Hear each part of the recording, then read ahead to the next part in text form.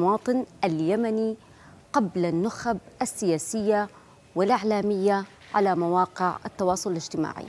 محتواها إبراز إرهاب الحوثي بالفيديوهات والصور وأيضا فضح المعلومات عن انتهاكاتهم تحت وسم بالعربي والإنجليزي وهو صوت واحد الحوثي جماعة إرهابية وأيضا ون فويس هوثي تورست جروب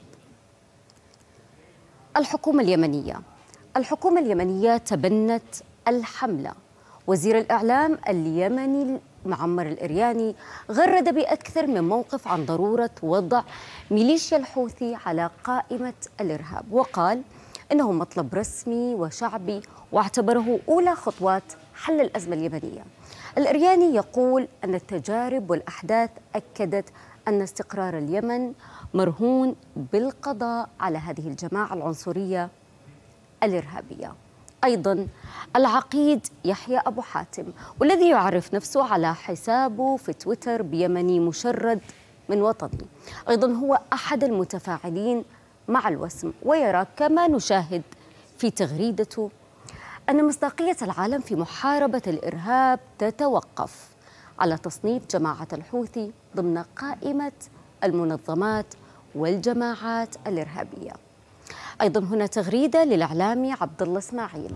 رئيس المركز اليمني للصحافة الأخلاقية يقول أخبروا العالم أن الإرهاب واحد وأخطره الممزوج بالعنصرية والمعجون بالسلالية. أيضا تغريدة رابعة للإعلامي الذي خاطب اليمنيين أو هي الثالثة الذي خاطب اليمنيين والعالم بأن المواطنين ضحايا لفكر إرهابي عنصري ويرى أن العالم يتجاهله عن سبق إصرار ويستخدمه وسيلة ابتزاز. محمد ناصر الإدريسي الذي يعرف نفسه على حسابه نائب في البرلمان اليمني شارك في الوسم بقوله التعريف الشائع أن الإرهاب هو استخدام القوة لتحقيق أهداف سياسية. إذا لم يكن الحوثي كذلك بانقلابه فماذا نسميه كما يقول؟ لهذا يجب أن تكون أو أن نكون صوت واحد الحوثي جماعة إرهابية. مرتدو مواقع وقادة الرأي في اليمن.